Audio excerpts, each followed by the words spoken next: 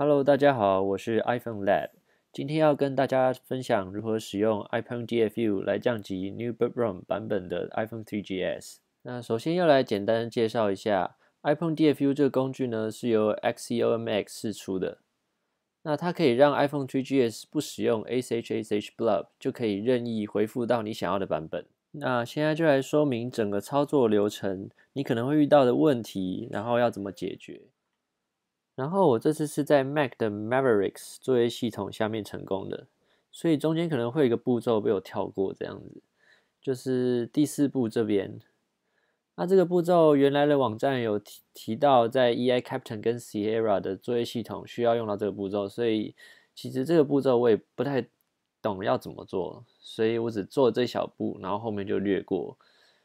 不过幸好也没有在我的 Maverick 上面造成什么太大的影响。好，那一开始呢，我们先从第一步开始介绍。那第一步就是环境建置，然后我们先打开终端机，然后一开始就是输入 `brew install libusb，给它复制到终端机里面。稍等我一下哦。然后 Enter，它就会开始执行。那因为我之前已经有用过了，所以它现在变成说在更新。然后等一下就会发现说我已经安装好了，就是这一段，它 already installed，就是代表说我已经电这部电脑我已经装好了。那我第一次。第一次使用的时候，它出它就出现 command not found，代表它里面没有 boot 指令，所以就是先把这一段 copy 到那个终端机里面去下载。那因为我下载过了嘛，所以这边就不示范了。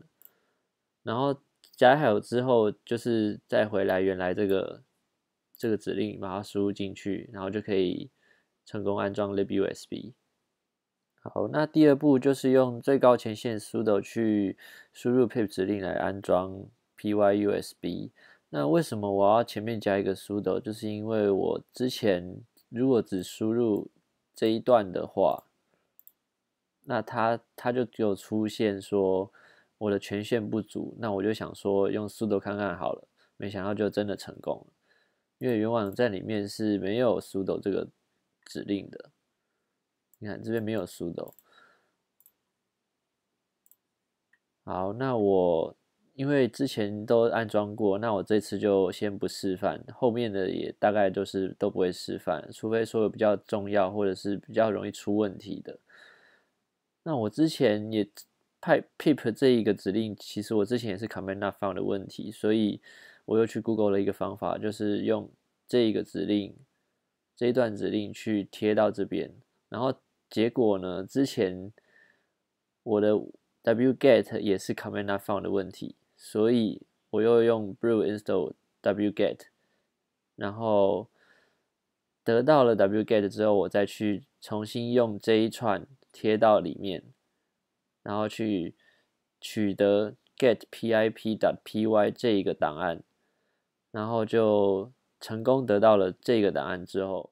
我再用这一串指令去重新 get 这个 pip 的 py，然后之后我就可以从一开始用 pip 安装 pyusb，然后到最后终于成功了。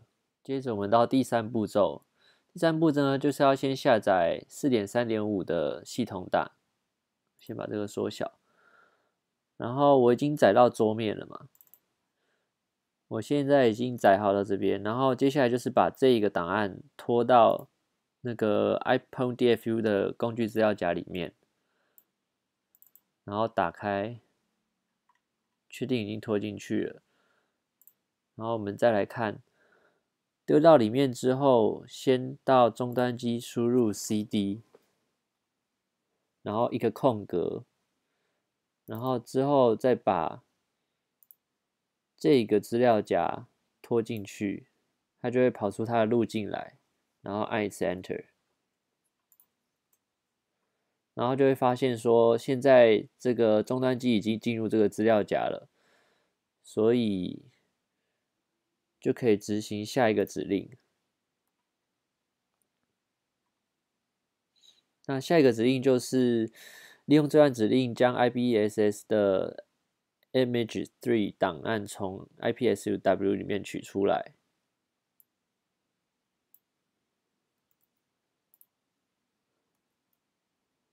然后按 Enter 之后，去那个资料资料夹里面去检查。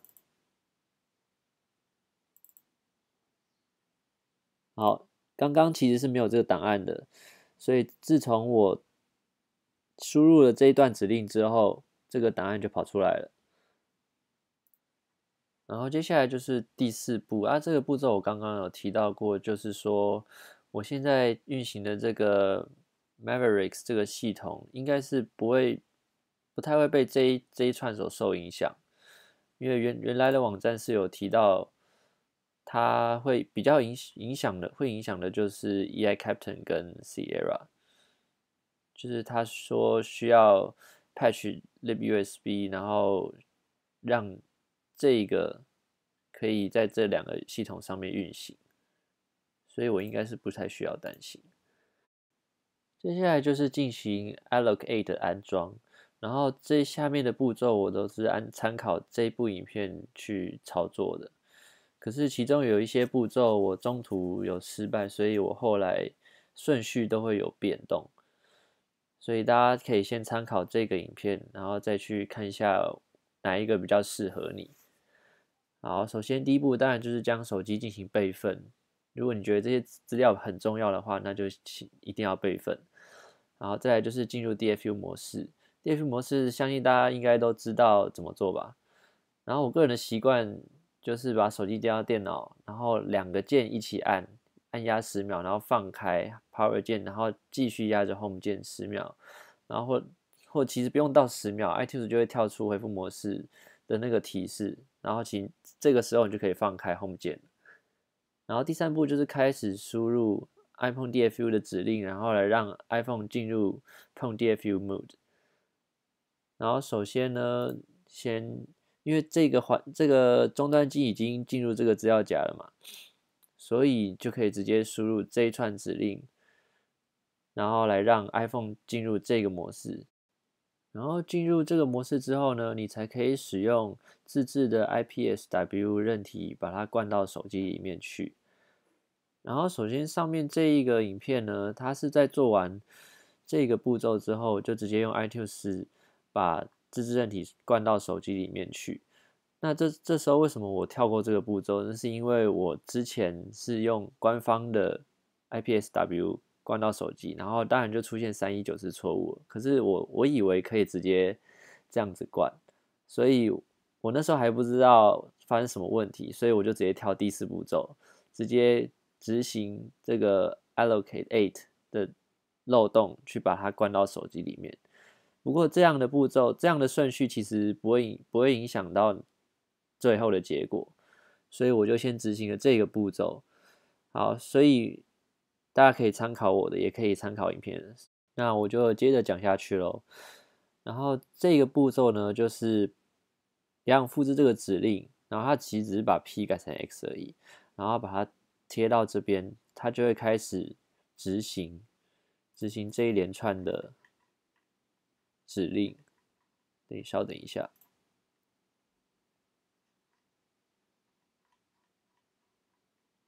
就是执行执行的时候，它会跑出这个。然后，如果这时候你 iTunes 开启的话，它可能会一直跳出回复模式的提示。这时候你就先不要理它。好，等到灌完之后，那个荧幕会先从白的，然后再变成绿的，这都是正常的。如果是变成红的话，你可能就要注意了，因为官方有写到说，红的话，红荧幕、红色荧幕的话，可能就是发生某些错误。然后他说，如果重新再 run 一遍的话，可能就是对对你手机没有帮助这样子。然后这时候我执行完这个步骤之后，我就发现我的 iPhone 并没有重新启动。因为原来网站是说它会自动重新启动，可是我的并没有，所以我就想说用 r e s t n o 去查查看它到底是进入了什么模式，就发现它进入了这个奇怪的 DFU 模式 （Soft DFU Mode），所以我就想说 Home 加 Power 压个几秒试试看好了，我就压了十秒左右，然后后来 rest now 就侦测到说是正常的 DFU 模式了，所以为了保险起见，我在用了这个指令去让它进入 Pong DFU mode，然后我再开启我的 i 旧版的 iTunes 去把它刷到我要的版本。那至于旧版 iTunes 要怎么取得呢？你可以灌虚拟机，或者是在 Mac 上面直接把新的移掉，这样然后用旧的去替换。那其实我不太建议这么做，我是建议用虚拟机，或者是把 iPhone 拿到另外一台电脑上面去灌自制韧体。然后接着我们要介绍怎么用这个工具去自制 IPSW 档。那首先我们要先进入这个网站去下载。你想要降级的版本，然后载好之后放到桌面上面。然后首先我们先开启这个工具，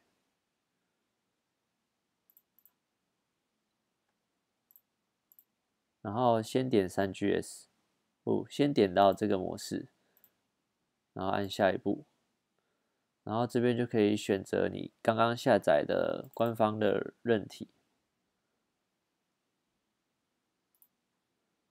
这边我是放在桌面，就是我要降，我要的目标版本就是三点一点三，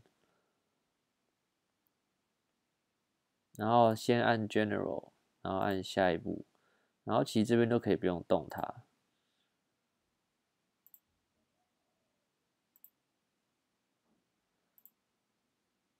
先回来，先回来这一步好了。这边有一个选项是启用你的 iPhone，那如果你的三 GS 可能是锁是锁机版的话，我觉得可能就是要需要勾选。那我的 iPhone 三 GS 是无锁版的，所以我那时候就是没有勾，然后我就点下一步。然后这边的话就不用理会它，因为这边都没办法选。然后如果你的 Cydia，你可以你可以先从这些网站去下载你想要的 Cydia 软体。那其实我觉得是不用，因为之后之后也都可以从 CDR 下载。然后这边预设就是帮你勾选说我要帮，就是他会帮你越狱，然后这边就看你要不要安装 CDR 这样子。然后这边这边的选项也是看个人，就是这边会帮你安装开机的 logos，就是你可以选自己想要的图案。然后这个就是回复模式的图案，你可以自己自己去调。那我这边都是取消勾选的，因为我喜欢原厂。然后接下来就是按 Build 这个东西，这个键按下一步。然后这边就是选择你要存放在哪里。然后我也是继续存在桌面，然后它开始就会帮我自制 IPSW 档。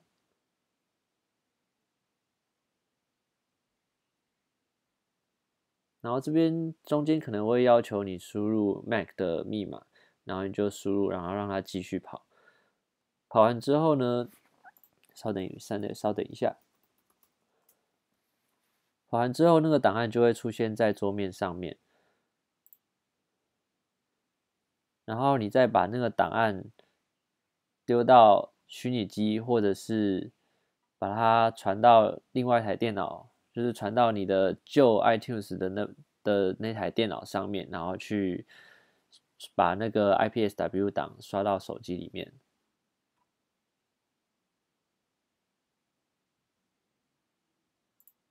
那我这边就先讲下一步，然后就是之后回复成功后，iPhone 应该就会进入 DFU 模式，然后这时候再执行这两个指令。就是在再让它跑一次，手机应该就会自动重新启动了。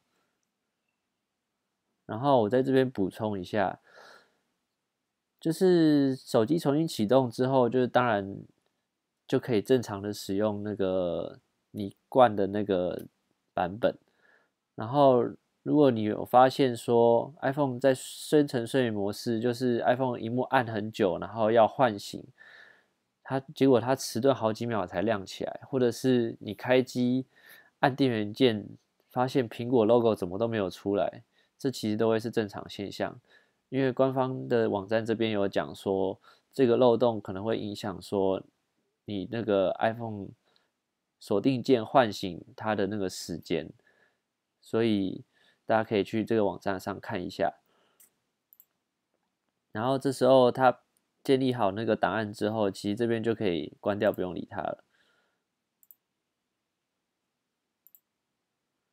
然后再回到桌面，这个就是刚刚自制的 Custom IP Custom Restore IPSW，这个就可以拿到旧电脑那边去重灌了。然后基本上呢，重灌好之后，其实就大功告成啦。那最后来跟大家分享一下，用这个漏洞来降级自制韧体的缺点，就是你按你要唤醒你的 iPhone，就是需要很久的时间，它荧幕才会亮。那你看，我现在我按电源键，它大概要过三秒以后，它荧幕才会亮。不过三 GS 在跑这个最原始、最经典的 iOS 三，应该说 iPhone OS 三，真的是超快的。你看，现在是降到三点一点三。好，那现在就谢谢大家的收看喽。